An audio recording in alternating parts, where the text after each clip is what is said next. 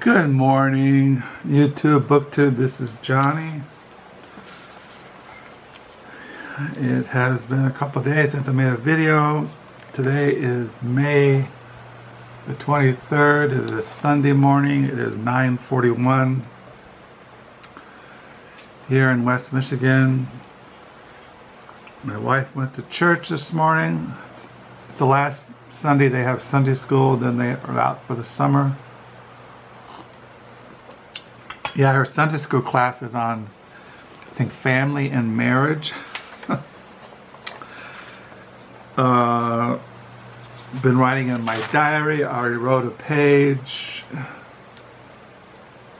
577. Now I'm on page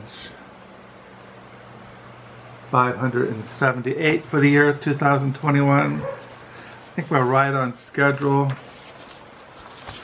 So writing in my diary, and it's like I've been mentioning, and I've been kind of out of it. I say that a lot in these videos. I'm always out of it about reading in the mornings. And I was thinking about that of why. And I think what it was, or what it is, is that in this whole process of purging our library, my library down the lower level, determining what to keep and what to take to the Gateway Center Rescue Mission, Holland Rescue Mission, and to take to Blue Stocking Bookstore for um, in-store credit. I've kind of immersed myself in literature outside of Christianity, and. Uh, but I have been wondering if maybe the books I have been collecting last 10, 12, 13 years, maybe I'm in a different place as far as literature. Now, because I don't know, you know what are my favorite writers today? Uh, when I start collecting books from used book sales and thrift stores, I bought the books that I read when I was in my 20s, or writers that I were familiar with throughout my adulthood, like John Updike and Saul Bellows and Norman Mailer, and then later on Joyce Carol Oates and existentialist philosophers and the Beats, Jack Kerouac, William Burroughs, Ginsberg, and Hermann Hesse and Thomas Mann and so then I thought to myself, what would I collect today if I didn't collect the books of my youth? I don't really know. I still like William Vollmann. Still like uh, David Foster Wallace, Iris Murdoch, Gail Godwin. I, I, people like that, Edmund Wilson, Murakami, people like that. I don't know. So the point is, is that this is a Sunday. What am I going to read in the new week that's ahead? And last night I took a ton of books down the lower level, and I'm trying to focus on certain books. I was I was reading all over the place for a couple of weeks due to being out of it. And uh, this morning, uh, like I said, I'm, I'm trying to get back into reading uh, Ludolph of Saxony, Life of Jesus Christ, Part 1, Volume 2, Chapters 41 to 92. I start chapter 53 this morning, Witnessing to Christ in the Fear of Death, Matthew 10, 28 through 33, which reads, uh, this is Matthew 10, verse 29 to 33. And do not fear those who kill the body, but cannot kill the soul, but rather fear him who is able to destroy both soul and body in hell. Are no two sparrows sold for a copper coin, and not one of them falls to the ground apart from your Father's will? But the very hairs of your head are all numbered. Do not fear, therefore, you are more valuable than many sparrows. Therefore, whoever confesses me before men, him I will also confess before my Father who is in heaven. But whoever denies me before him men, him will I also deny before my Father who is in heaven. So I'm going to start reading that this morning, his reflections, exposition in this book. So I'm trying to get back into this. I put this, keep this on my desk in my study. I'm trying getting back into reading this, interpreting scripture with the great tradition, recovering the genius of pre-modern exegesis. No, I got the wrong book. I wanted the great tradition in on the contemplating God. I got the wrong one. But anyway. And then I want to get back into God Himself, Scripture, Metaphysics, and the Task of Christian Theology by Steven J. Duby. Now, I told my wife this morning that I'm trying to read things that are not so taxing on my brain, intellectual, and maybe reading books like this and books like this. Now, I really enjoying this book, God Himself. Highly recommend it. But I don't know. I can read Ludolph of Saxony because it's more reflection, it's more meditating, and not intellect. There is a certain amount of intellectual activity that goes on, but not as much if you're reading something really heavy academically as a Christian. I got a book in the mail that I came across on the internet this is a biography on the Saint Bernard of Clairvaux, An Inner Life by Brian Patrick McGuire. I came across this in some someplace, but I got this for six dollars. it was going for forty on a website, and I checked it at Amazon, and they were selling it for six dollars.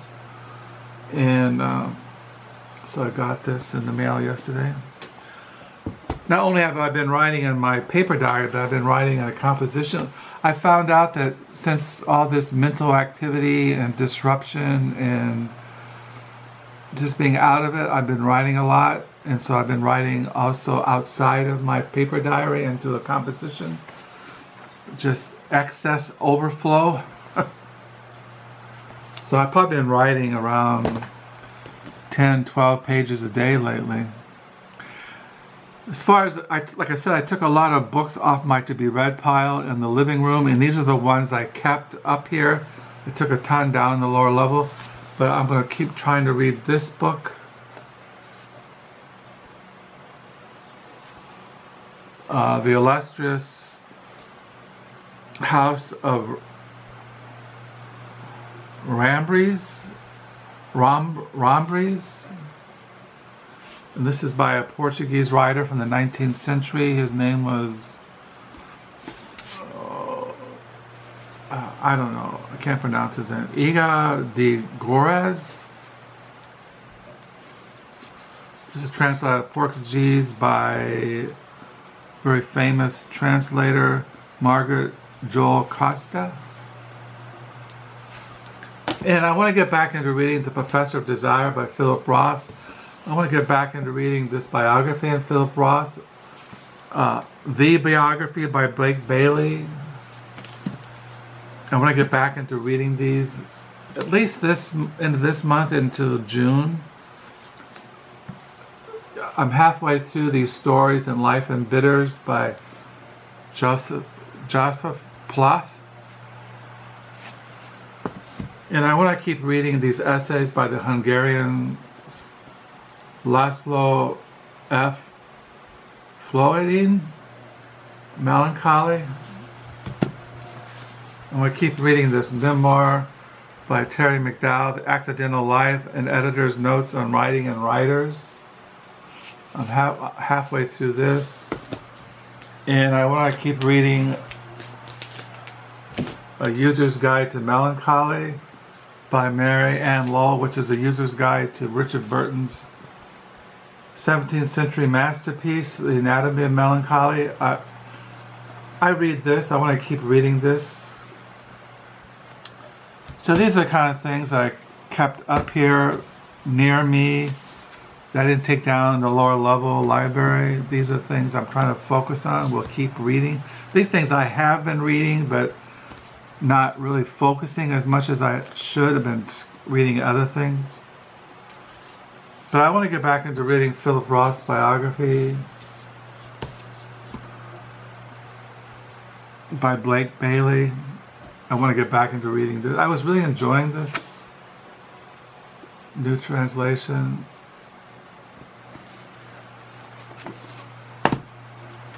Writing in my